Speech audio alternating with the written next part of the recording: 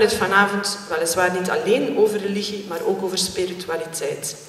Heel veel zelfhulp-geluksboeken doen ons geloven dat, het, dat de sleutel tot geluk in belangrijke mate in de spiritualiteit te vinden is. We buigen, dus dan, we buigen ons vandaag over de vraag of religie en spiritualiteit de weg dan wel de omweg is tot geluk. We gaan daarbij een tweespraak, zoals we het aangekondigd hebben, waarbij beide sprekers van vanavond hun stellingname in een twintigtal minuten uiteenzetten. Daarna volgt een uh, debat onder de deskundige leiding van Isabel Rossard. Isabel Rossard is journalist en schrijfster. Ze schreef onder meer voor De Standaard, U kent Knak en uh, de eindredactie van Mo Magazine. Uh, momenteel schrijft ze regelmatig voor het maandblad Psychologisch, een blad dat enkele maanden geleden trouwens een uh, themanummer over geluk heeft uitgebracht. Momenteel werkt Isabel aan de laatste, uh, legt Isabel de laatste hand aan nieuwe fictiewerk, iets waar ik zeer naar uitkijk. Het is bijzonder cliché van te zeggen dat uh, spreker X of Y nauwelijks hoeft, hoeft geïntroduceerd te worden, omdat iedereen hem of haar wel kent vanuit de media. Wel nu, dames en heren, voor wat dat vanavond betreft is dat geen cliché. Professor Metting-Penninger is theoloog, maar vooral bekend geworden uh, bij het grote publiek als woordvoerder van bischop Leonard. Op dit moment werkt hij op de studiedienst van de CDNV en is hij verbonden aan de KU Leuven als gastprofessor. Hij is bovendien een bijzonder productieve auteur. Dit jaar schreef hij het boek uh, Welke kerk, vandaag en morgen. En momenteel bereidt hij uh, een boek uit dat in april zal verschijnen bij de uitgeverij Lano met als titel Toegepaste blijde boodschap waarom geloven mij gelukkig maakt. Een bijzonder toepasselijke titel voor dit debat. Meester, ook meester Piet van Eekhout is een man die jullie wellicht kennen van uh, elders dan in deze zaal. Hij is niet alleen bekend uit de Gentse politiek en uit het openbare leven in Gent, maar is vooral bekend als uh, strafpleiter. Um, heren, we zijn bijzonder benieuwd naar uh, jullie pleidooien voor vanavond. En ik geef eerst het woord aan meester Piet van Eekhout. Mevrouw de voorzitter, dames en heren. Eigenlijk vind ik het onderwerp niet goed. En ook de cyclus die ondertussen gebloeid heeft en waarschijnlijk terecht met veel succes hier in het studium. Omdat ik niet houd van het begrip geluk. Ik ben natuurlijk graag gelukkig en ik heb het geluk van tamelijk gelukkig te zijn nogal. En een tamelijk gelukkig leven al gehad hebben tot nu toe en ik hoop dat het nog wel wat duurt, ik kom daar nog op. Maar ik vind dat de term geluk nogal breed is, universeel en tegelijk ook zeer individueel. De ene individuele casus is de andere niet. En ik moet zeggen dat wanneer er sprake is, ook in de zeer mooie publicatie, publicaties van het studium, generali, wanneer er sprake is van geluk, dan over geluksboeken en ook over geluk en beleid en al dat soort van dingen, Frank van den Broeke weet je nog wel, dan zeg ik, als er hier kort geleden, 23 november, ook een Franse auteur was kwam spreken over dezelfde termen, eigenlijk kijk ik daar wat bevreemd naar. Ik las in de Standaard der Letteren van 29 april, het is al een hele tijd geleden alweer, in de Standaard der Letteren las ik een bijdrage van Kathleen Verreken. Het ging over geluksboeken, God betert. Niet meesurfen op de golven van de gelukshype staat vandaag gelijk aan spelbrekerij. Ik ben dus een soort spelbreker vanavond. Ik heb mij zitten afvragen, hoe moet ik dat nu doen? Geloof, religie, spiritualiteit enerzijds, geluk anderzijds. Hoe moet ik dat in godsnaam aanpakken? Zeg ik tot mezelf, ik zal het doen op een persoonlijke manier. Een autobiografisch, zo authentisch mogelijk uitgangspunt. Hoe werd ik ongelovig. Hoe was ik gelovig? Ik, dit individu, die lange tijd, zijn prille jeugd, zijn jeugd, zeer gelovig is geweest. En was ik toen op dat ogenblik gelukkig? Het onderwerp van vandaag hoe was, is de relatie van de verschillende stadia in mijn leven in dat verband tot het geluk. Waren het wegen, omwegen tot het geluk toen ik gelovig was en verloor ik dat toen ik ongelovig ben geworden. In 1845 schreef Zeuren Kierkegaard een ongelooflijk werk, dat eigenlijk hier niks mee te maken heeft, maar dat, zoals zijn andere werken, pathetisch is eigenlijk. Stadien op een levensweg. Stadien op een levensweg. En het zijn die stadien die ik met u nu kort ga bespreken in de inleiding. Dus Kierkegaard, het kerkhof van Kopenhagen. Wij houden van kerkhoven. Kerkhoven zijn ongelooflijk interessant ook al, omdat ze u iets te vertellen hebben over uw eigen toekomst. Eerste stadium, ik heb er vier. Enfin, ik heb eigenlijk geen vier stadia, ik heb vier punten en dan heb ik gedaan met de inleiding. Eerste stadium was mijn prille jeugd. En als ik autobiografisch die prille jeugd zie, met de rieten van de ochtend zoals ze waren, dan was dat onvoorstelbaar. Dat was mooi. Dat was mooi. Ik was ook een soort suppliant koorzanger. En ik was zeer verbonden met de kerk van onze lieve vrouw, van de altijd durende bijstand. En ik dacht dan dikwijls aan religie. Aan religie. Als ik s'morgens las aan de voet van het altaar. Er is een priesterdichter die een gedicht heeft gemaakt, een droevig gedicht, opgedragen aan de psalm aan de voet van het altaar. Dus trouw aan de werkelijkheid. Zend uw licht en uw trouwe waarheid om mij te geleiden. Zij zelf zullen mij voeren tot bovenop uw heilige berg en tot in uw, tot binnen in uw tent. En ik dacht, als jonge knaap, beginnende Latinist, ateneumstudent, ik dacht, dit is religie. Sloterdijk is iemand die mij zeer toespreekt. En wat zegt hij wat religie is? Ik geloof dat de Europeanen, de groene Amsterdammer dus, ik geloof dat de Europeanen gewoonweg vergeten zijn wat religie eigenlijk wil zeggen. Het woord betekent letterlijk ijver. Cicero heeft er de juiste etymologie, etymologie van gegeven. Lezen, legere, religere. Dat wil zeggen het aandachtig bestuderen van het protocol om de communicatie met de hogere orde te reguleren. Sloterdijk. Het is dus een soort ijver. In mijn terminologie, zegt Peter Sloterdijk, de instructie voor een oefening. Daarom geloof ik niet dat de terugkeer van het religieuze effect zal hebben als dit niet leidt tot een praktijk van geïntensiveerde oefeningen. Onze nieuwe religiositeit daarentegen is in de meeste gevallen niets anders dan dromerige luiheid. Onvoorstelbaar, hè? dromerige luiheid. Eigenlijk, als ik zo'n misdienaar was en die psalmen hoorde, dat ik ook wat dromerig was, maar niet lui. Ik hield mij vast aan teksten en ik heb toen ook al mijn grote eerbied voor de literatuur, de teksten, de psalmen. Ik heb die, en de gehele literatuur natuurlijk, hè. ik heb die daar beginnen koesteren. En ik was dus eigenlijk min of meer gelukkig, denk ik. Al waren er veel factoren die dat in de weg stonden toen. Tweede fase later kwam ik aan de universiteit, studeerde rechten en wijsbegeerte. En ik was toen dus in, op twee vlakken actief filosofisch en religieus. Aan de ene kant aan de universiteit dus, Jaap Kruithof. En ik kwam dus tegelijk met de universiteit aan de kapel, de oude kapel van het Schrijboom, in het aloude Sint-Thomas-genootschap. Het KUK, het Katholiek Universitair Centrum. We stonden s morgens op en we discussieerden, zult mij niet geloven, over wat Heidegger bedoeld had met de ontologische differentie. Dus zijnde en zijn. Niet gelooflijk, hè? Het heeft iets humoristisch, het heeft iets ironisch, maar het was prachtig.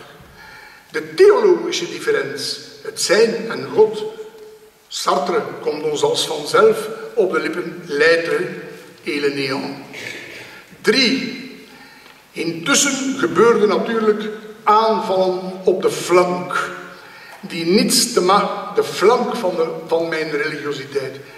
Aanvallen die niets te maken hadden met, zie Peter Sloterdijk, dankzij Frederik de Smet, de Groene Amsterdammer, niets te maken hadden met de echte problematiek van de religie. Maar het inzicht in de culpabiliserende moraal van het katholicisme op dat ogenblik, hè, schuld, schuld. De Jewish mother, weet je wel? Talloos in Vlaanderen verspreid onder de katholieke moeders. Schuld, schuld, seksualiteit, schuld. De sociale kwestie. Ik zag hoe het woord van de Bijbel juist was. Dit volk eert mij met de lippen, maar hun hart is ver van mij. Bij mij als beginnende vrijdenker zag ik hoe het anti-fariseïsche discours van de Messias eigenlijk ook het mijne was. Ik sluit af. Ik zei dus, de jonge misdienaar, in troibo ad altare Dei, ad Deum qui letificat juventutem meam, tot God die mijn jeugd verblijdt.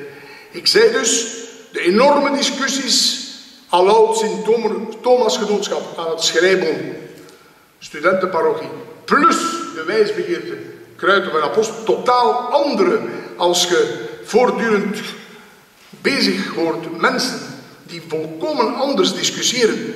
Priesters, licentiaten, filosofie, André Champens, Jeff Mertens, zeer besproken in de kerk. En aan de, toen, en aan de andere kant dan Jaap Kruid of Apostel enzovoort. Er is geen mooiere voedingsbodem mogelijk om over veel na te denken. En ik sluit af met vier. Introibo ad altare Dei, ik zal gaan naar het altaar van God tot God die mijn jeugd verblijdt. Ik heb het in mijn teksten geschreven.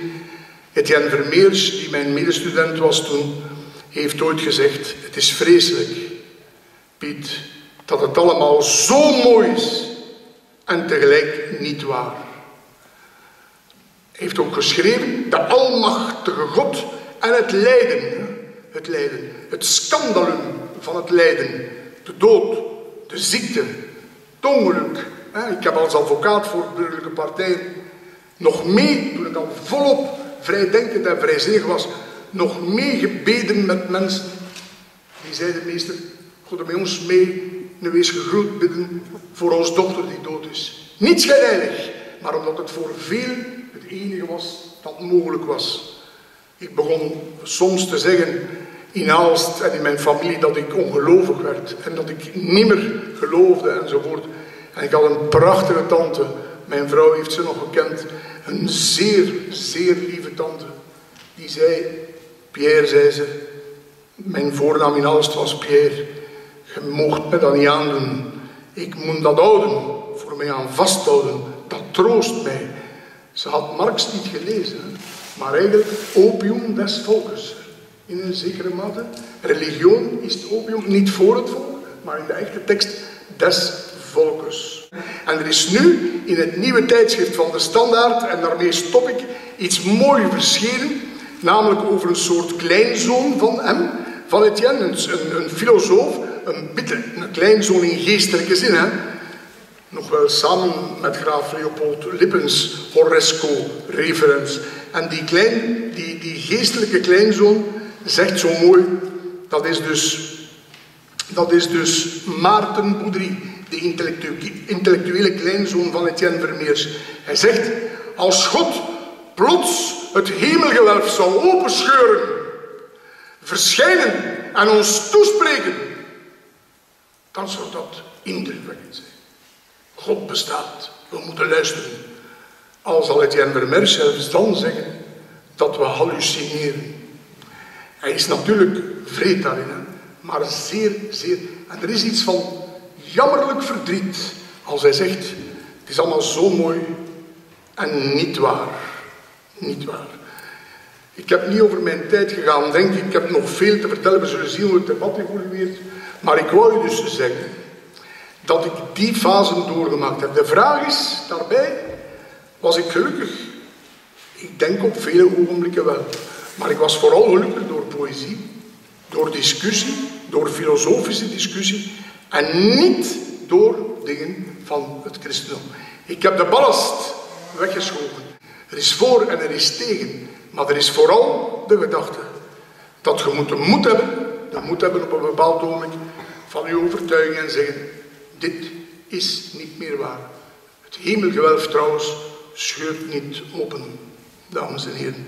En het lijden, de ellende, de kinderen die sterven, de doden, de onrechtvaardigheid, worden door de Almachtige God steeds gedoogd. Dat wil ik in mijn persoonlijke getuigenis zeggen. Ik heb het zo authentiek mogelijk gedaan.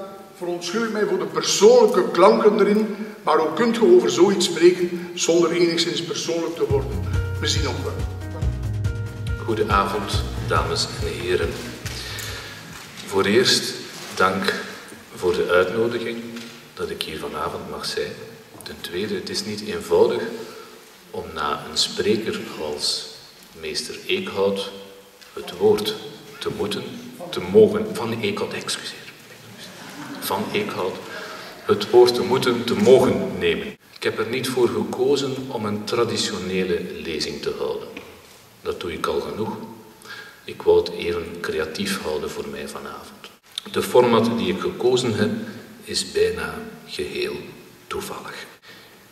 Edelachtbare, mijn cliënte wordt beschuldigd van moord. Dat is in deze assisenzaal geen vreemd woord. Mijn cliënte, de Rooms-Katholieke Kerk, in al haar breedte, van hoog tot laag, wordt immers niet van het minste beschuldigd. In het meters en meters dikke dossier dat hier deze namiddag in dozen uit vrachtwagens werd gegooid en in de ruimte hiernaast werd gestapeld, staat op elke doos als het ware de beschuldiging te lezen. De kerk wordt beschuldigd van de moord op het geluk. Daarom zeven argumenten waarom mijn cliënte het niet heeft gedaan. Ach, ik weet het wel. Vandaag lijk ik hier een advocaat van het instituut. Omdat men nu eenmaal de kerk reduceert tot haar structuren en functionarissen. Maar aan de kerk die hier in de beklaagdenbank zit en die ik verdedig, kleeft de realiteit van een geloofsgemeenschap. Wat wijst op het hart van de kerk. En dat hart is het geloof. Wie zou het geluk, wiens nabijheid aan het hart zoveel deugd doet, kunnen vermoorden? Meer zelfs. Geluk duldt het niet dat het wordt vastgehouden. Noli me tangere. Het is ongrijpbaar. Laat zich af en toe eens strelen. Streelt zelf af en toe. Maar haast zich dan weer voort, gauw. Onze hoop voedend om elkaar ooit voor altijd innig te mogen omhelzen. Maar gezien het geluk ongrijpbaar is, behoort het per definitie niemand toe. En kan het door geen enkel hart, geen enkele persoon, geen instituut of geen religie worden. En dus ook niet door iemand ontzegd worden aan iemand anders. Gevolg, aangezien het geluk ongrijpbaar is, is het niet vast te grijpen, laat staan te vermoorden. Mijn tweede argument, edelachtbare, sluit hierbij aan. Mijn cliënte ontkent immers niet dat zij achter het geluk aanzat. Maar ze stond daarbij niet alleen en het was niet met het doel om het geluk te vermoorden. Met name moeten we hier onze aandacht richten op haar geestelijke vader, een zekere man, Jezus genaamd. Over die Jezus weten wij met zekerheid dat hij bestaan heeft. Dat hij met zijn woorden en daden indruk maakte op zijn geloofs- en tijdgenoten. En dat zijn invloed groot was, ook na zijn dood. Waar het mij om te doen is, is dat hij blijkbaar zo belangrijk bleef in de ogen van de generaties na hem, dat men enkele decennia na zijn dood vier boeken aan hem heeft gewijd, die door mijn cliënten allemaal met dezelfde titel werden bedacht, namelijk Blijde Boodschap. Een boodschap die de bedoeling had mensen blij te maken, gelukkig te maken. Anders gezegd, hij toonde de weg naar geluk. De vermelding van het derde argument, edelachtbare, betekent voor mijn cliënten een pijnlijk moment. Want een herinnering aan alle onverkwikkelijke episodes uit haar eigen verleden. Het ontbrak mijn cliënten vaak aan authenticiteit, aan overeenstemming tussen woord en daad. Binnen het kader van dit proces moet er dus op worden gewezen dat onmenselijkheid mijn cliënten niet vreemd is geweest. Onschuldige, eerbare en weerloze kinderen werden seksueel misbruikt. Terecht, terecht heeft mijn cliënt zich ook daar reeds voor geëxcuseerd. Maar het blijft staan dat de poort naar het geluk voor die mensen niet is geopend door mijn cliënten, terwijl dat wel haar taak was. Toch, edelachtbare, is in al die feiten, ondanks de hardheid ervan, het geluk niet vermoord. Mijn vierde argument tegen de beschuldiging van geluksmoord is het feit dat mijn cliënte meer goed heeft gedaan dan fout. Vergeten we dat toch ook niet, edelachtbare. Ze heeft een zekerheid en houvast geboden, een moreel kader. In eigen land denk ik bijvoorbeeld aan, aan twee zaken, met name de gezondheidszorg en het onderwijs. Precies op die domeinen heeft mijn cliënte via de zorg voor zieken, denken we maar aan de zustertjes, en via scholen voor jongeren en anderen een belangrijke pioniersrol op zich genomen. Laat ons er geen doekjes om winden en hier kom ik aan mijn vijfde punt toe. Geluk heeft met betrokkenheid te maken. En het ware of diepste geluk met de diepste vorm van betrokkenheid, de liefde. Liefde. Wat zou geluk zijn zonder liefde? De liefde is het cement dat geloof, kerk en geluk met elkaar verbindt. Toegegeven, mijn cliënte zich op sommige vlakken niet bepaald begripvol en liefdevol. Hoe hoger op de ladder van haar eigen hiërarchie, hoe minder zelfs. Empathie is niet iedereen gegeven. Geluk mag dan verband houden met rechtvaardigheid, absoluut. Zonder barmhartigheid voelt geluk niet warm. Kom ik tot mijn voorlaatste argument. Het betreft de spiritualiteit die mijn cliënten voorhoudt en waar zij van leeft. Gaat het over de mentaliteit van gelovig in het leven staan. Niet beknot door structuren, maar als bevrijde mensen. Vrijmoedig in het leven staand op grond van een blijde boodschap die de mens gelukkig wil maken. Ieder in zijn eigen situatie, volgens de mogelijkheden die er daartoe voorhanden zijn. Geluk is daarbij niet louter resultaat of eindpunt, maar niet het minst ook een soort van compagnon de route. Of laat het me gebald uitdrukken, zoekend in het leven staan, waarbij de God van Jezus een rol mag spelen, geeft een zodanige innerlijke kracht en versterkt zodanig het vertrouwen, dat dit reeds een diepe dimensie van geluk in zich draagt. Tot slot, edelachtbare, een argument waarbij mijn cliënte over haar eigen muurtje kijkt. Er zijn namelijk veel meer visies op geluk dan de visie van mijn cliënten. Maar alle hebben ze gemeen dat geluk gesitueerd is. Ik bedoel daarmee dat geluk niet te definiëren valt omdat het voor de ene persoon dat betekent en voor de andere dat. Voor de ene levensbeschouwing dit en voor de andere dat. Anders gesteld. Ieder bekijkt geluk vanuit zijn eigen perspectief, waardoor de concrete context van geluk de locus is van het ware geluk. Anders gezegd, Zoek niet overal waar je het geluk kan aanraken. Het is alleen in je eigen leven dat het kan gebeuren. Of om een onverdachte bron te citeren, te weten Loesje, ik citeer, wees jezelf, er zijn al anderen genoeg. Einde citaat. Wie zichzelf is, ondanks alle bekoring om iemand anders te worden.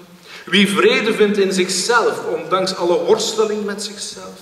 Wie op de grond waarop hij staat goed probeert te zijn in de mate van het mogelijke, die kan waarachtig geluk ervaren. Iets in mij zegt me dat degene die mijn cliënten reeds op voor dit, voor dit schijnproces hadden veroordeeld, wellicht, wellicht in mijn argumentatie, de elementen hebben gesprokkeld die hun mening bevestigen. Maar iets anders zegt me dat u wijze mensen bent, aandachtig en kritisch.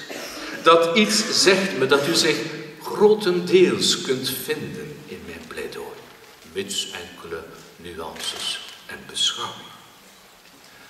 Dames en heren, ik pleit voor vrijspraak. Edelachtbare, dit proces is een schijnproces, aangezien het geluk slechts schijndood is. Niemand kan het geluk vermoorden, ook de kerk niet. Uiteindelijk betreft het een diep menselijke dimensie, waartoe geloof en kerk een eigen bijdrage kunnen leveren. Maar het vermoorden, dat ligt niet in hun macht. Geluk is niet afhankelijk van mijn.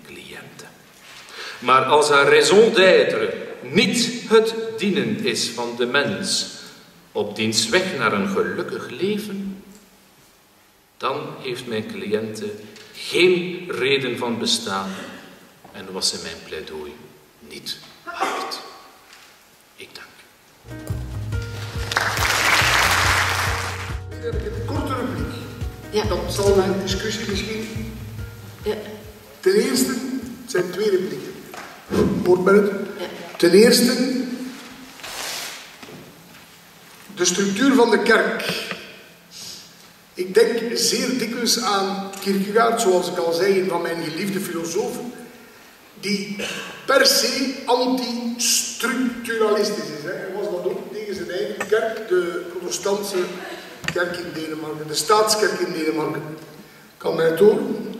Dus in elke structuur, en dat is niet alleen in de kerk zo, ik heb dat ook meegemaakt in de socialistische structuur, verzanden ideeën in een structuur. En komt schijnheiligheid, stijloosheid, machtsdrift boven water. Ik las ooit eens een mooie tekst over wat Jurgen met de Penningen hier genoemd heeft, de, ja, de geest van de gemeenschap in de kerk. Dus de, de geest boven de structuren uit. Is natuurlijk een mooie gedachte. De orthodoxe theoloog Bulgakov, denk ik. L'esprit du Christ qui règne dans le cœur des hommes. Dus niet de structuur is de kerk. Maar, uw pleidooi was mooi, maar mislukt natuurlijk. Volledig. Want de kerk is machteloos eigenlijk tegenover wat je zou kunnen noemen, en daarmee rond ik mijn repliek af, is mijn tweede punt, de zinloosheid van lijden, ziekte, dood, ellende, en ik weet het wel, de kloosterzusters, ze vermeld, de zeer vele mooie dingen die in de caritatieve sector gebeurd zijn. Ik zal niet spreken over andere zaken, maar de zinloosheid van lijden, ziekte, dood en ellende. Je gaf mij daar een fameuze klap op mijn hoofd door te zeggen, ah, meester Marie, jij gaat naar kerkhoven gaan kijken. Wij hebben dat niet nodig. Christus is verrezen. Dat was nogal hoogmoedig, hè. Het was, het was nogal hoogmoedig, hè. Nee, het is niet slecht bedoeld, maar het is fameus hoogmoedig, hè. Hè? Wij hebben dat niet nodig, hè. Dat is typisch, hè. Je moet een keer lezen, een recente knak over hedendaagse gelovigen. Wat bezielt hen? Inge Vervotten, Luc Tuymans, Bart Peterschot betert, enzovoort, hè. Dat is die eigenwijze gedachte, die ongelooflijke, stijloze gedachte van wij hebben de echte waarheid in pacht. Daarentegen, daarentegen zinloosheid van lijden, ziekte, dood, ellende tegenover de Almachtige en al goede God, en professor? Met de vereisnis dus als troost, hè? Kruid of zij, als het al geen zin heeft, de mens moet de zingever zijn. Het is een mooi boek, De Zingever. Hè? Geluk enzovoort. Soms wordt het geluk gewoon vermoord, niet door de kerk, maar doordat sommige absurde ervaringen van ziekte, lijden en dood gewoon geen zin hebben tegenover de Almachtige God. Daar, ik sluit af, mijn, mijn eerste, mijn deze repliek, het pessimisme van het inzicht gaat bij mij gepaard met een zeker optimisme van de daad. Uh, Nietzsche heeft gezegd, je moet oppassen met pessimisme, dat het keine Leben verneinende boze wordt. Hè.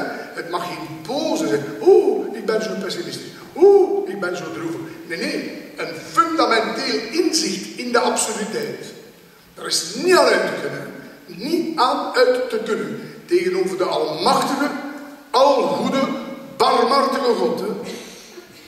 De absurditeitservaring, en ik zal nog niet spreken van de oorlogen, naar een bekend woord absurditeitservaring tot miljoenen uitge, uitgebreid, maar gewoon de echte absurditeitservaring schept moed. Niemand is onsterfelijk. Ik heb de ballast van het troostende geloof van mij gehoord. Ik zei daar straks dat mijn levensgezellin, we hebben daar dikwijls discussie over al 35 jaar, vanuit een typisch vrijzinnige houding dat benadert. En ook ethischer is dan ik trouwens. In feite ethischer dan ik. Hè. Want die ballast, en ik weet het wel, ik weet het wel, je zult daar weer iets moois op vinden. En een mooi, hè, je bezoekt Kerkhoven, maar onze God is verrezen. Ik uh, gun het u, hè. Ik gun het u, hè. Ik, uh... ik gun het u, maar het is uh, niet juist.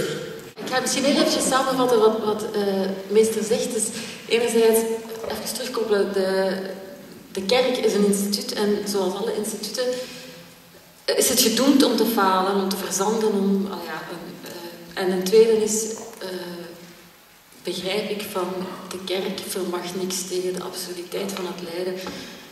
En helaas, misschien, ja, misschien dat u daarop. Um, ik ga ook kort, kort antwoorden op uw vraag. Ik denk dat u gelijk hebt met uw stelling dat structuren dreigen ideeën te doen verzanden. De, daar, daar treedt verroesting, daar treedt uh, je ziet dat trouwens ook al in het evangelie. De reden die, Jezus houdt uh, in Matthäus 23 ten aanzien van de schriftgeleerden en de fariseeën die, zich, die, die anderen eigenlijk verhinderen om, om, om, om, om authentiek te leven volgens de geest van het geloof. Een heel sterke redenvoering die eigenlijk, vind ik, te weinig wordt beklemd binnen de kerk. Trouwens, uh, het is geen reclame, maar in mijn laatste, boek over welke kerk ja, het is mijn vraagteken dat het er staat. Stuur het bij Ik Met het mooie dedicatie. Absoluut. Voor humor. Als ik nog maar... Dus, uh, ik ga je zeker een boek opsturen. Uh, maar ik denk dat dat een, het grote gevaar is van, van, en, de grote realiteit is van de kerk van vandaag. Zij redeneert vanuit structuur. Uh, als ik mijn lezingen houd over, over de eigenheid, de relevantie en de toekomst van de kerk, ja, dan komt het daar steeds op neer. Namelijk de structuren die verhinderen dat de kerk eigenlijk authentieke kerk is. Ik heb het in mijn lezing gezegd, de kerk draait niet rond de kerk, wel, ze geeft te veel de indruk, veel, te veel de indruk dat ze dat is. Laatste alinea van mijn boek is, de kerk heeft alleen maar toekomst als ze nederig wordt. En nederig worden is uw eigen structuren ondergeschikt maken aan de geloofsgemeenschap en de blijde boodschap. Vandaag is het omgekeerd. Vandaag is het omgekeerd. Dat is de realiteit. Dus het eerste vlak staan we zeker uh, op dezelfde lijn. Het tweede vlak veel minder. Namelijk, ik vind dat u zeer, zeer, als ik dat mag zeggen, onrespectvol bent ten aanzien van al diegenen die lijden en die zin vinden in hun lijden, op grond van hun geloof. Je mag dat niet ontkennen dat heel veel mensen die lijden, vooral dan op de laatste weg van hun leven, daar zin, kracht putten uit het geloof. Ik heb respect voor degenen die zelf hun kracht halen uit zichzelf. Ik heb respect voor. Maar ik merk zo vaak in gesprekken dat het respect niet wederzijds is. Alsof je geen kracht kan putten uit het geloof. Slot, verrijzen is als troost? Nee. Verrijzen is, kan, is natuurlijk een element binnen de theologie en in het geloof een element van troost. U hebt daarin gelijk. Maar het meest troostvolle vind ik dat Jezus zelf geleden heeft. En dat Jezus zelf aan dat kruis gezegd heeft, mijn God, mijn God, waarom heb je mij verlaten? En hoe, verlaten het gevoel, het, hoe sterk het gevoel van verlatenheid ook is, het is een bede tot die God. Toch? Het respect is wel wederzijds. Hè. Ik weet dat vele mensen zorgen, bidden, lijden en zo. Ik heb dat in mijn familie gezien. Hè. Ik heb mijn vader, toen hij ging sterven, horen vragen. Zeg, ik heb mijn gebeden niet meer. Ik ken dat. Hè. En ik had daar verdriet over. Ik wilde geloven dat mijn gebeden vergeten ben. Ik weet dat. En ik heb het grootst mogelijke respect daarvoor. Dus duw mij niet in het niet-respectueuze hoek. Maar, maar, je, houdt u vast. Ja. Ik ga de discussie even opentrekken en dan terug een beetje kleiner maken. Maar ik wil ze eerst opentrekken. Uh, we hebben het nu over de katholieke kerk gehad. We kunnen het in deze tijd... Achter we kunnen het in deze tijd en in deze maatschappij, als we het over religie hebben, niet meer alleen hebben over de katholieke kerk. Uh, ik denk dat er misschien zelfs in de zaal mensen zijn van diverse religies. Hier in Gent zullen er wel uh, een hele hoop diverse religies zijn. Ik zou je willen vragen, als we het gaan hebben over religie en spiritualiteit, wat bedoelen we daar dan eigenlijk mee? Durft iemand daar zich wagen aan een definitie? En dan vooral ook, wat mij fascineert is, wat is het verschil tussen religie en spiritualiteit? Wie wil daar iets over zeggen? Ik wil het spits daarover afbijten. Wat mij betreft zeg ik, ik ben gekomen, ik heb mezelf langzaam losgemaakt van de ballast. En ik ben gekomen tot een situatie, wat blijft er als essentieel over?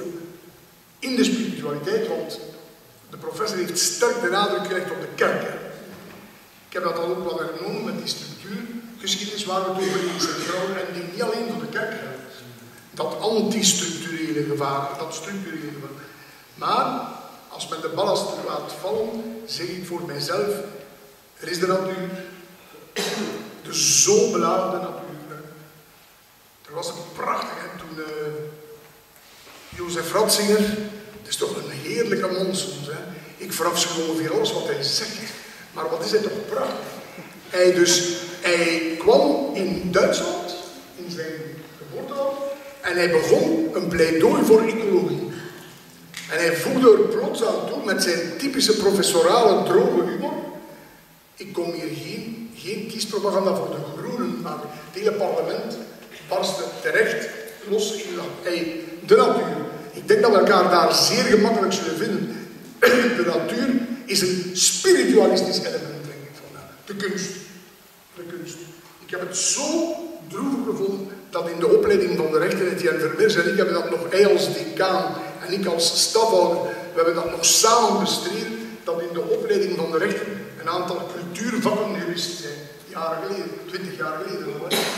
Ik denk dat de kunst, de natuur, de kunst, een religieus, laat ons zeggen, een spiritueel, laat ons zeggen, een diep menselijk belang vertoont. Kunnen we zeggen dat het gaat om een soort van transcendente ervaring in de natuur, in de, in de kunst, of is dat hoger? Het is snel erover, hè, als je begint over de transcendente ervaring. Maar... Nee, natuurlijk niet, maar trouwens ook Sloterdijk, zijn definitie gaat ook in die richting eigenlijk. Maar ik zou zeggen, we hebben dat eigenlijk nodig. Hè. Er is een, je, je moet zelf de zin geven.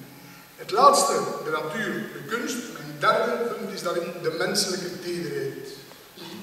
De menselijke tederheid. Je hebt een paar mooie dingen daarover gezegd en ik weet ook dat ook in het christelijke milieu, ik heb het gezegd, respect voor respect, maar ik zal u tot slot met een gedichtje daarover antwoorden. En dan heb ik meteen mis mijn repliek afgelopen.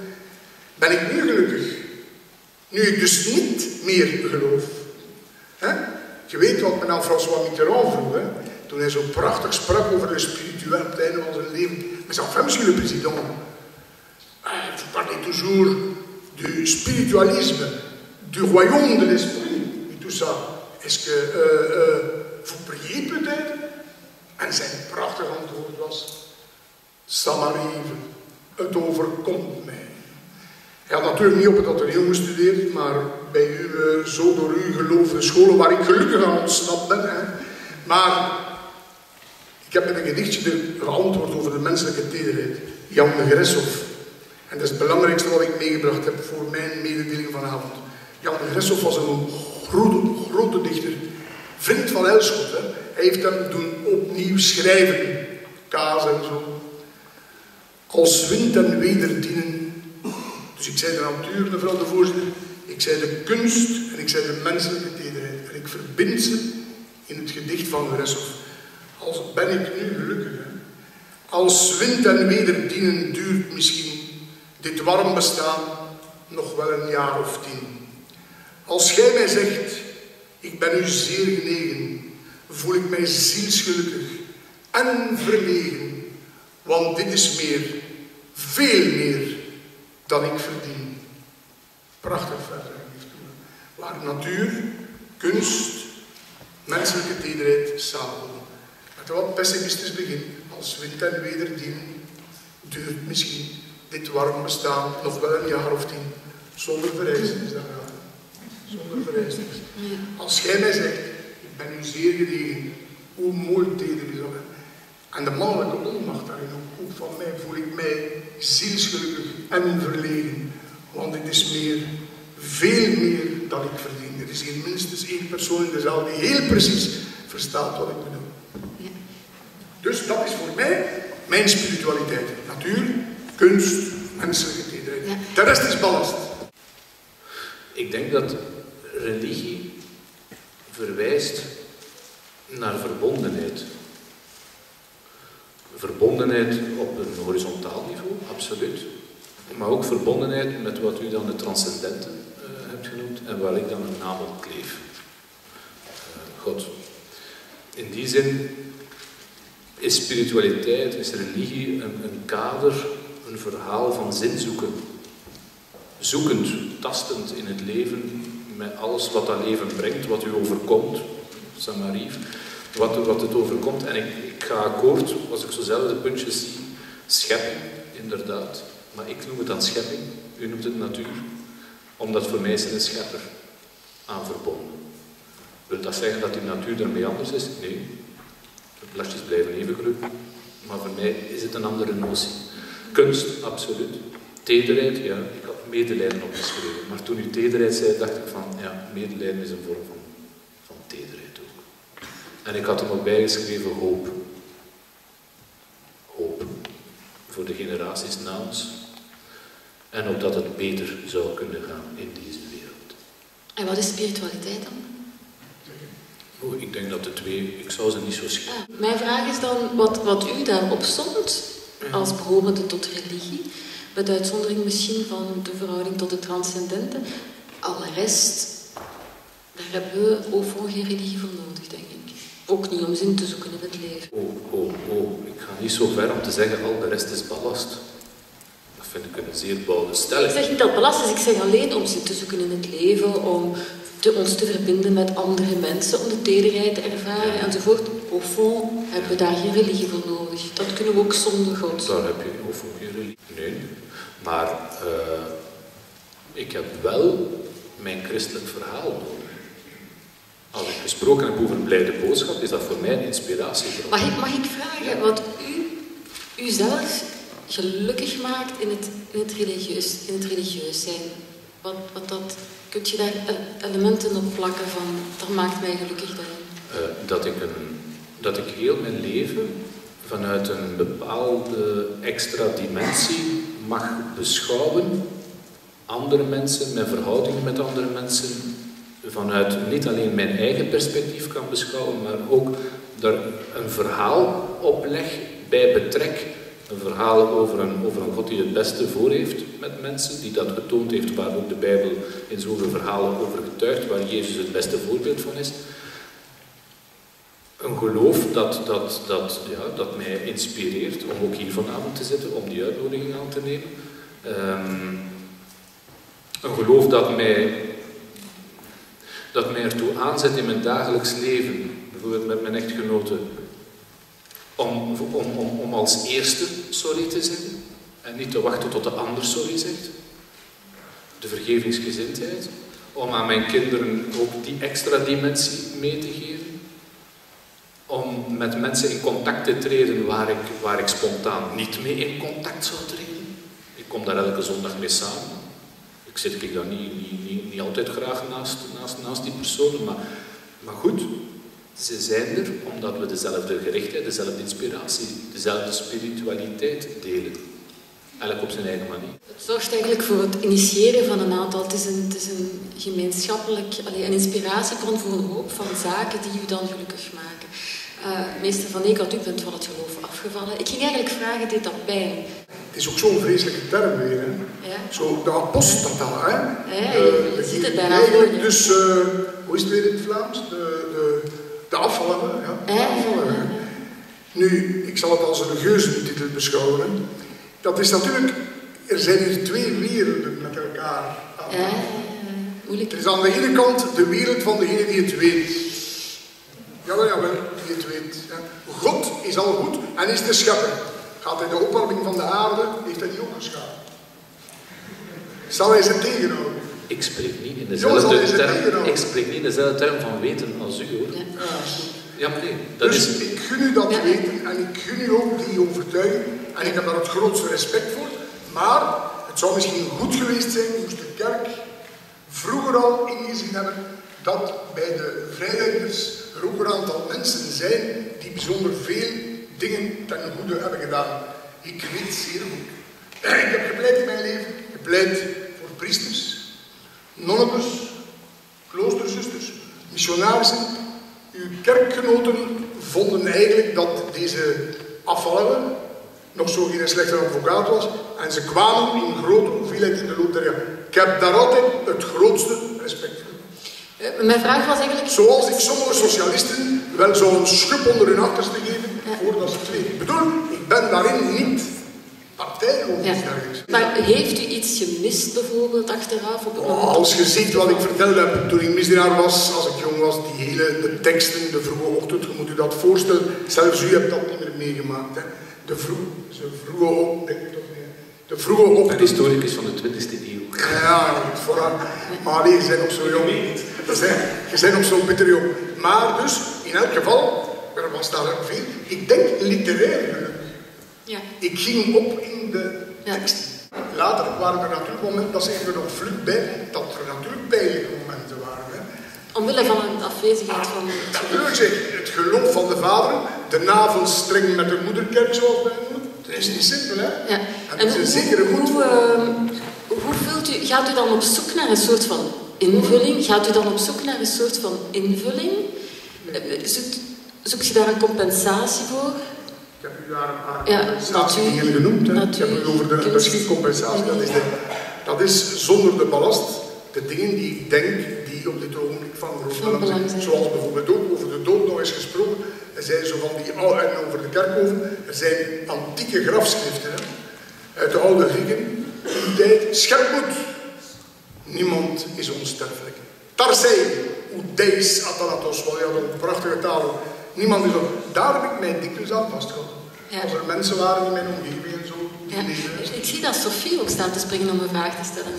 Dat is een vraag die mij echt ehm, al de hele tijd bezighoudt. Wat ik heel mooi vind, is dat jullie dus natuur, cultuur eh, en kunst eigenlijk als een soort ervaring eh, allebei eh, omschrijven die toch wel op een of andere wijze bijdraagt tot geluk. Maar ik heb voor beide heren een vraag, voor de meester van Nicolt. Of religieuze kunst en bijvoorbeeld de wondermooie Bach-cantates en Maria-vespers enzovoort dan eh, tot dezelfde soort ervaring kunnen leiden. En omgekeerd, als ehm, de professor naar het museum gaat, of hij dan op een andere wijze naar religieuze kunst eh, kijkt of naar, eh, in zijn zetel naar de Bach-cantates luistert.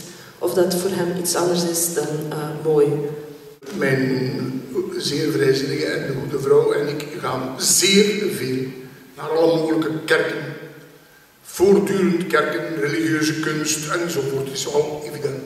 Wat, wat ik over Etienne Vermeers zei daar, dat hij zei, het is toch zo mooi. En het is jammer dat het niet waar is. Ik zei dat naar aanleiding van een psalm.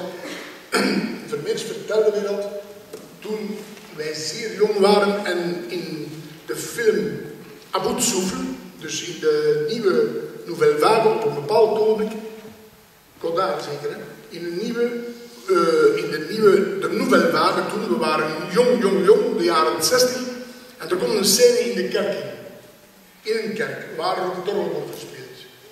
Jezus, mijn Freude, een van de zeer schone Bach-kantaten. Hij zou me niet geloven, toen was het dat Etienne zei tegen mij, het is zo'n schitterende Bach-kantaten, zoals Bach religieuze kunst ongelooflijke dingen heeft gemaakt. Hè? Ongelooflijke dingen. Maar, je moet mij toch de vrijheid geven van te zeggen, ik bewonder dat, ik geniet daarvan, maar dat maakt mij niet tot een gelovig mens of iets dergelijks. Ik ben wel, ik ken de geschiedenis van Bach wat en zo, ik ben wel onder de indruk van de creatie van die dingen. En ik volg u daarin volledig. trouwens, beeld u eens in, het is een patrimonium ook, hè? het is een schitterende reeks dingen, kerken enzovoort, schilderijen. Enfin, moet u niet... Binnenkort gaat de betekenis van heel veel van die zaken verloren gaan voor een groot deel van de mensen die de Bijbel niet meer kennen. Ah, ik ben er nogal voor van een traditionele opvoeding. Hè. Ik ben voor het Latijn, ik ben voor de Bijbel, ik ben, en als goede vrijdenker ken ik tamelijk goed wat je daarover...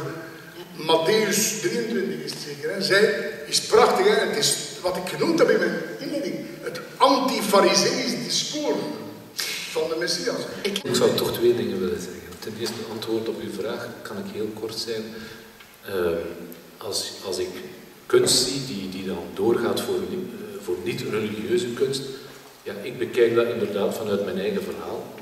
Het schilderij De Schreeuw van, van Munk, ja, wel, ik, ik bekijk dat vanuit mijn verhaal. Daar is ook niets op tegen. Ik vind dat dat trouwens het, het, het fantastische is van kunst. Dat er ruimte is voor interpretatie, voor betekenisinvulling. Absoluut. Um, ten tweede, ik zou nog iets willen zeggen over uw vraag aan meester Van. Doet het afvallen van geloof, om het zo te noemen, doet dat pijn? Ik dacht onmiddellijk van, eigenlijk geloven en gelovig blijven doet soms ook. Ik was, als ik even biografisch ben, ik was afgelopen zaterdag op een afscheidsplechtigheid, zoals dat vandaag heet, in een mortuarium van een dame die euthanasie had laten plegen, een tante. En ik heb heel die, vier, die plechtigheid, heb ik daar eigenlijk, ik heb daar geen traan gelaten. Ik vond het leeg.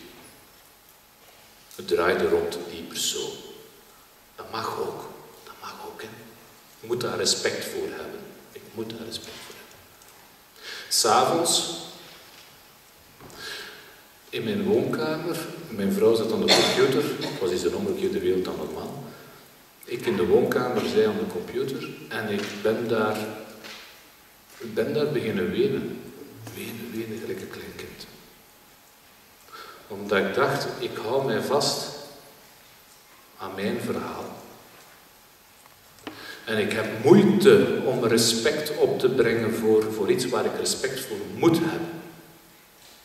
Hoe dat respect en geweten met elkaar kunnen, kunnen worstelen.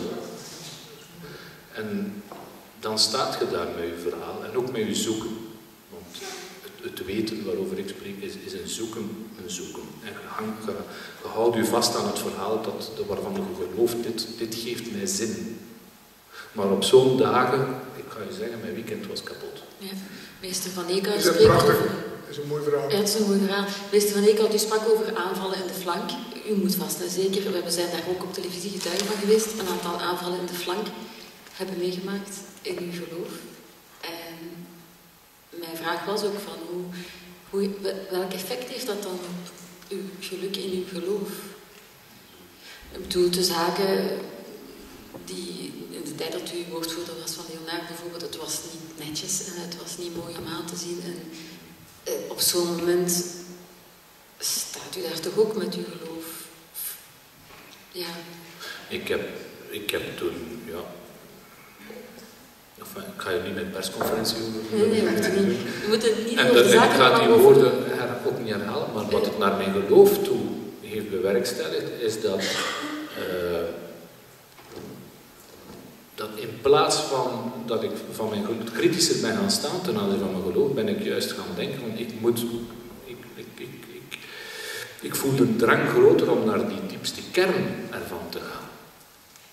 Ik voel die drang groter om naar de diepste kern ervan te gaan. En ik heb die kern ook, ook, ook wat mogen voelen. Zo van, het draait niet rond wat dat we al hebben aangehaald, die structuren. Het draait rond, rond, rond het, het, ja, het, het blijde, het zinvolle. Als mijn volgende boek gaat over toegepaste blijde boodschap, dan bedoel ik eigenlijk van toepassen, we moeten doen. Ja. En, en, en, en je moet doen waar, waar, waar, waar, waar je aan vasthoudt, zolang het maar positief is en niemand schaadt.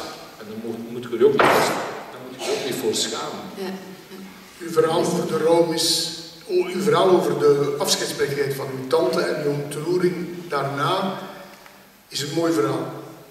Ik zou eigenlijk, denk ik, nog de hele Gregoriaanse rouwmis kunnen meezingen als koorzanger. Er is weinig dat zo schitterend is. Hè?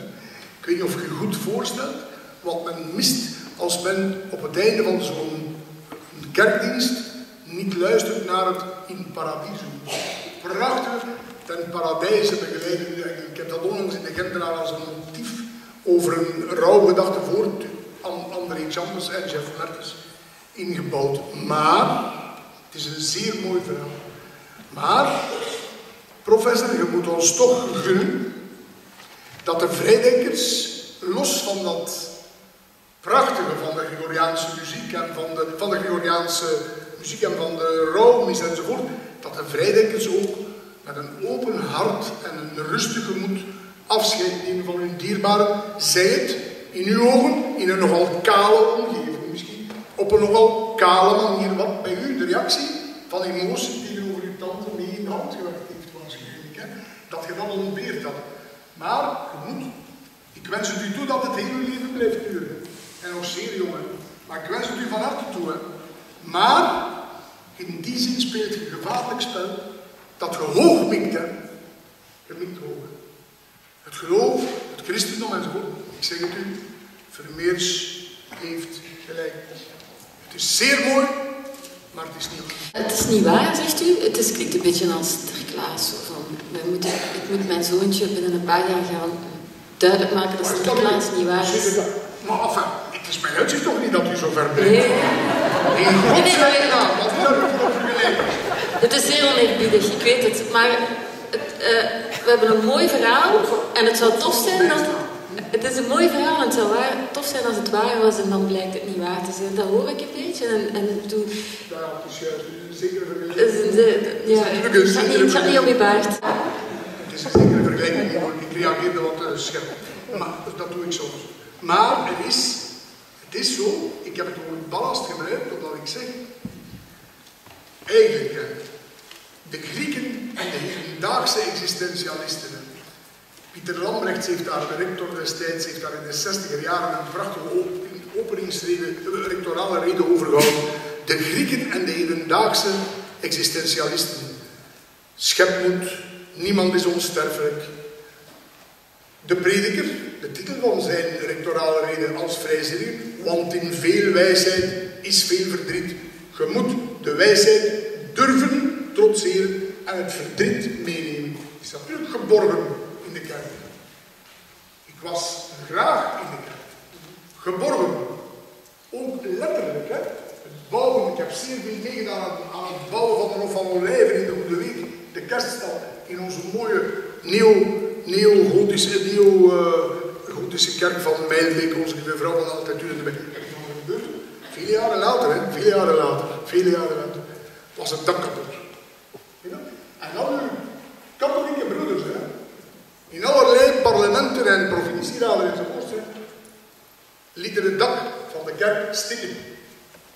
En ze kwamen bij mij, de mensen van de kerk, van mijn Gaston van der Malen en Leefkool, denk ik, en een aantal anderen. Daar zaten ze. Bij de socialistische afvallen, hè. En ik heb een andere socialistische apostaat, die niet zo afval, die is ook eerder ook, komt ook uit de vrijzinnig nu, Herman Balthazar, die toen gouverneur, ik zei kom, op drie weken was er een nieuwe dag. Hè? Zie je dat? Dat is verdraagzaamheid, hè? En krachtig optreden. Ik hoop Ja. dat hetzelfde doet vanuit de CD&V als het Geuzenhuis niet hier... eh, Ja. Worden worden zaken geregeld. Botton, de Britse filosoof, schrijver, eh, heeft binnenkort heeft, heeft net een boek uit en dat heet eh, Religie voor atheïsten. En waarin hij eigenlijk zegt, we hebben het kind met het, met het wijwater weggegooid. Er verschijnt een interview met hem deze maand, nu vrijdag in psychologie, maak een beetje reclame, ongeoorloofd. Eh, en hij zegt eigenlijk van ja, er is, er is heel veel moois en goeds aan de religies, niet alleen die van de katholieke kerk. En hij gaat eigenlijk shoppen over de hele wereld en hij gaat daar overal dingen uitpakken waarvan hij zegt van kijk, dat is bijvoorbeeld toch jammer dat dat verloren gaat, laten we dat incorporeren in een, laten we daar iets mee doen, misschien zelfs van overheidswegen dat eh, installeren. En dan heeft het bijvoorbeeld over, ik zie er hier een, een aantal ehm, eh, religieuze reclame ophangen, bijvoorbeeld. eh, slogans die vroeger in de kerk, jij zult niet, weet ik wat we allemaal niet mogen doen, eh, van dat op grote reclameborden uit te hangen in de stad, zoals dat vroeger in de kerk ook eh, op grote slogans of in grote beelden eh, uithing. Of hij stelt bijvoorbeeld, hij heeft het bijvoorbeeld over eh, restaurants waar je eigenlijk, agape-restaurants, waar je samen gaat zitten met mensen die je niet kent, zoals je in de kerk samen gaat zitten en het brood deelt met mensen die je niet kent. Wat vinden jullie van zo'n voorstel? Alain de Botton is vergelijkbaar in dat opzicht met Peter Sloterdijk, die ook spreekt over een nood aan nieuwe geestelijke oefeningen. Een interessant thema. Maar ik moet zeggen, het is natuurlijk zo als men opgevoed wordt. Ik was nu wel tamelijk links opgevoed, dancistisch, geusachtig, maar als je opgevoed wordt met een christelijke moeder en een christelijke ondergrond en dus misdienaar en dus, en je verliest dat, dat gaat weg, heb je de neiging om te zeggen, ik moet dingen in de plaats zetten. Dat is iets wat ik weggeduwd heb altijd. Ik heb daar straks gezegd, als ik mijn gedichtje van, van Gressel voorlas of citeerde, het is zo dat je moet kunnen, zoals de Grieken, zoals de hedendaagse existentialisten, de prediker, want in veel wijsheid is veel verdriet, je moet het feesten, denk ik. De Botton en ook Sloterdijk al, ze willen altijd iets in de plaats, iets in de plaats, iets in de plaats. En shoppen eigenlijk. Hè? Ja, shoppen, ja. ja, ja. Zeer goed, hè. zelfs de islam enzovoort, daar en daar en daar. Ce n'est pas mon genre. Ja. U zegt dan eigenlijk, we moeten het uit, uitzweten dat het er niet meer is. Je moet, toen Walschap, de naam is voor de jongeren vrijwel onbekend waarschijnlijk, hè? we zouden moeten herlezen. Toen Gerard Walschap, die zeer katholiek was, de kerk verliet, salut en merci, vaarwel dan, enzovoort, zeiden ze maar alleen, wat gaat er met u dan gebeuren? We waren in de dertiger jaren, hè, dames en heren van de vorige eeuw. Wat gaat er gebeuren?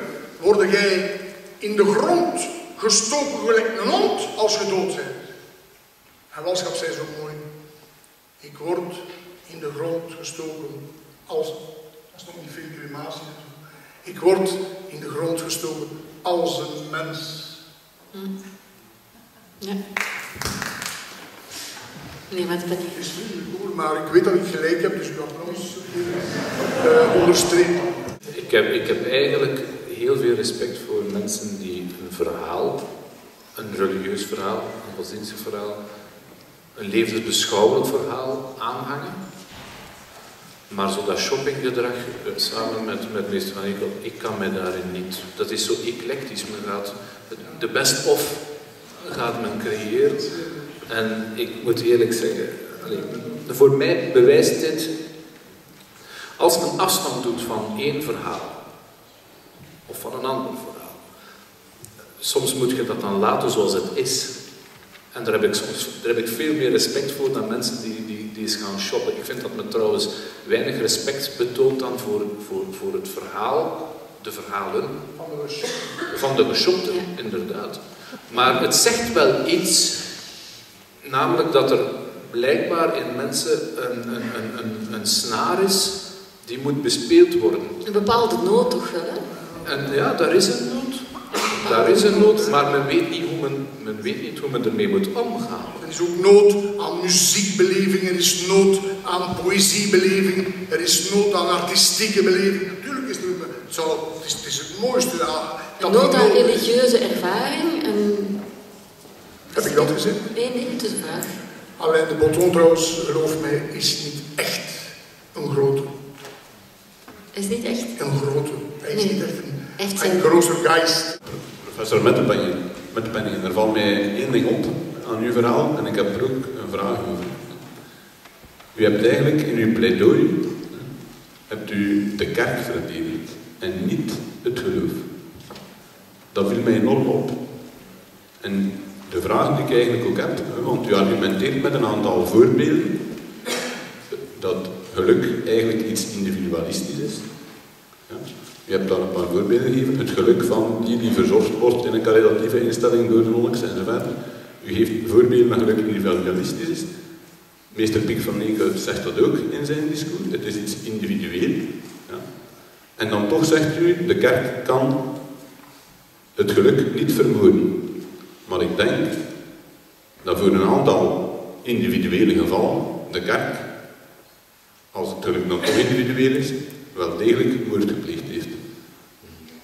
De slachtoffers van onderdrukking, de slachtoffers van seksueel misbruik, de slachtoffers van een schuldbeladenis, hè, waar de meester van Eekhout ook naartoe verwijst, en die ik nog alle dagen rondom mij zie, dat doet er mij aan denken dat het geluk wel degelijk een aantal keer persoonlijk of individueel vermoord geworden is. De heksen en de inquisitie. Ja, u herhaalt wat ik in een bepaald punt heb gezegd. Namelijk, ik heb daarop gewezen. Ik heb daarop gewezen dat, het, dat de kerk het geluk vermoord heeft in bepaalde gevallen. Eh, dus wil alsjeblieft niet zeggen dat ik dat niet gezegd heb. De stijlfiguur die ik gebruikt heb, dat is een stijlfiguur, dat is een format.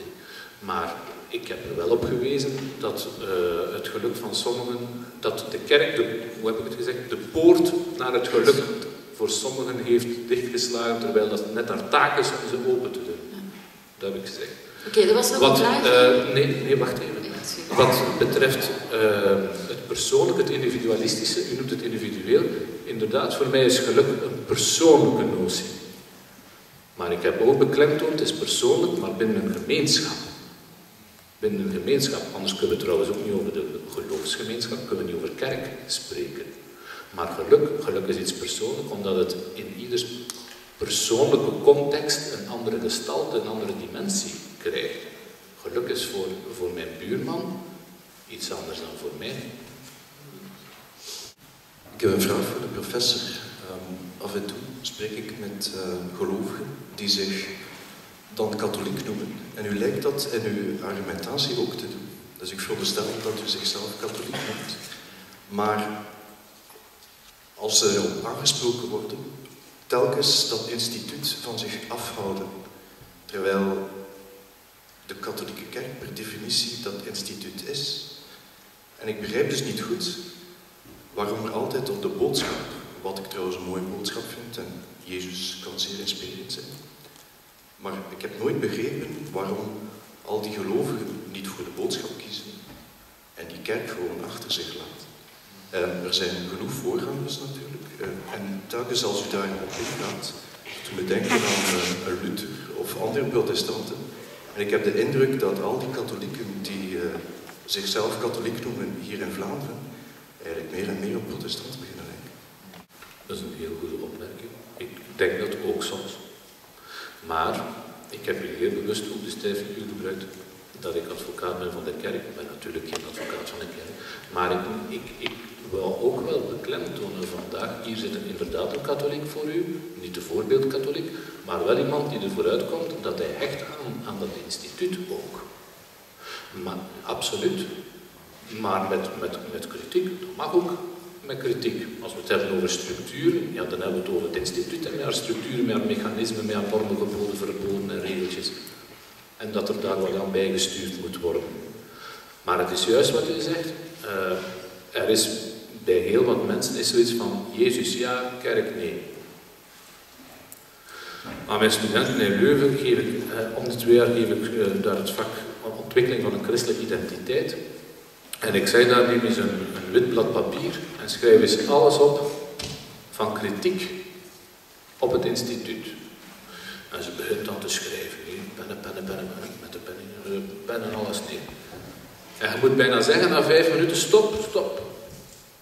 En dan zeg ik, pak eens een tweede blad papier. En schrijf eens alles op wat je te danken hebt aan het instituut. En je krijgt een kwartier. En ze beginnen wel te pennen, maar dan beginnen ze naar boven te kijken of af te kijken. Enfin, dat lukt niet. En voor mij is dat beeld, sluit aan bij wat u zegt.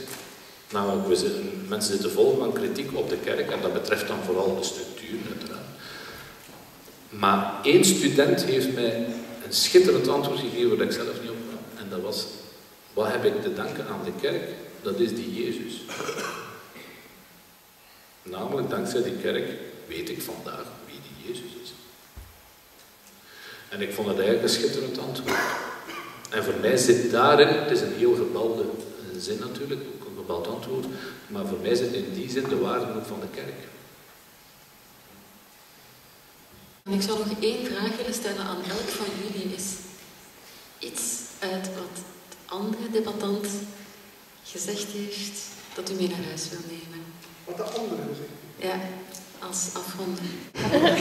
Ik begin met plezier. Ik begin met... Ja, dat is goed. Ik begin met plezier, namelijk het laatste gedicht. Ja, dat u heeft voorgelezen. Ik vind dat een fantastisch gedicht. En ik zou u willen vragen, in ruil voor mijn boek, zou ik dat gedicht eens mogen? Als ik een boek, uh, als ik een boek krijg met een mooie dedicatie, om later, postmortem, de, de waarde in het archivariaat en zo, te, het antiquariaat en zo binnen 50 jaar zo hoog mogelijk te houden. Dan stuur ik u een paar dingen over Gressel 50, nog fantastische dingen. Omdat ik weet hoe in dit kleine leven alles slechts is, broos en om het even, een tijdpassering, een partijbiljart. Pas op, wie zich te zorgeloos bezint, is al verschrompeld, hier hij goed bemint. Ik zal u een en ander sturen. Het was dus een vriend van Elschot, die Elschot zeer heeft, uh, zeer uh, geholpen met zijn kracht om te schrijven. Wat mij bij professor de het meest heeft getroffen, en ik ben altijd al, sedert ik hem leren kennen in de media, geboeid geweest ook door zijn figuur. Wat mij heeft getroffen is natuurlijk het verhaal over de, de rouwdienst voor uw tante. Omdat het een mooi verhaal is. en omdat je zult geweend hebben en wenen is goed. Hè. Soms moet men eens wenen. Het is zo'n oude Gentenaar die zei tegen mij, zo'n echte Gentenaar, ik ben een Alstenaar, ik kan dat dialect niet goed houden. Een man schreeuwt niet, hè. Maar alleen, we lachen toch ook, hè. Dat zei Romein de Koning altijd. We lachen toch ook, dus mogelijk schreeuwen. En wel, het wenen, ik vind dat een mooi verhaal. En ik denk dat ik kan vermoeden welke de componenten zullen geweest zijn van uw verdriet.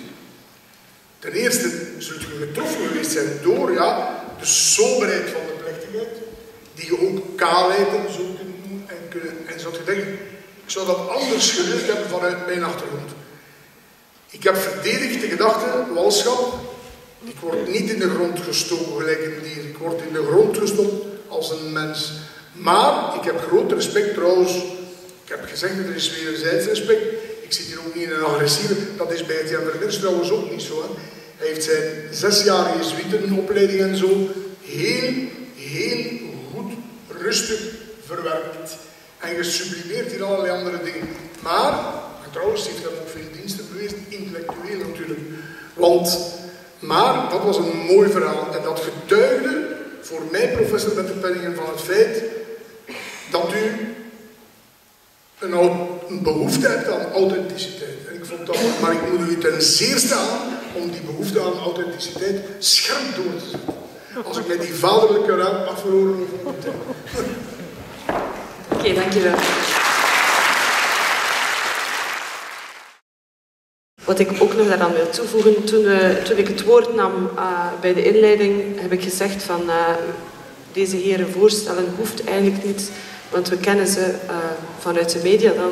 Ik ben in elk geval heel erg blij dat we u vanavond op een andere manier hebben leren kennen. Dank je wel.